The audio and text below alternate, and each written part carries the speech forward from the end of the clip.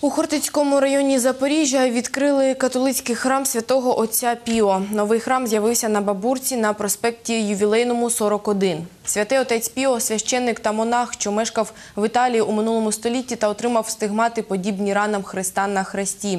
Вважається, через його заступництво можна отримати чудеса зцілення.